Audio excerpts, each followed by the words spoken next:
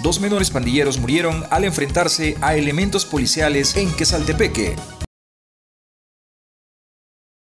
Los pandilleros murieron enfrentándose a tiros con elementos policiales en el cantón sitio de Los Nejapa, de la comprensión de Quesaltepeque. Se dio un intercambio de disparos con la patrulla que realizaba su patrullaje preventivo normal, habiendo observado un grupo de personas que al ver a los policías les dispararon y se dieron a la fuga situación que ocasionó el fallecimiento de dos individuos. La policía precisó que el grupo de pandilleros al momento del intercambio de disparos portaban armas cortas y largas. Eh, era un grupo de sujetos que eh, delinquía en este lugar, ¿verdad? Al lugar de los hechos llegaron los familiares de los fallecidos identificados como Eliezer Over R de 15 años y Neris R de 14.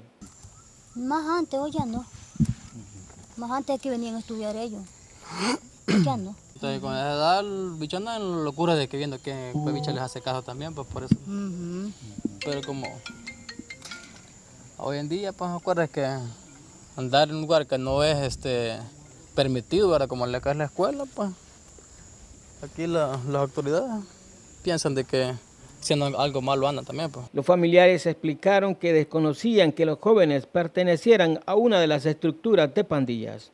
Pero como uno no sabe va, con quiénes se recogerá.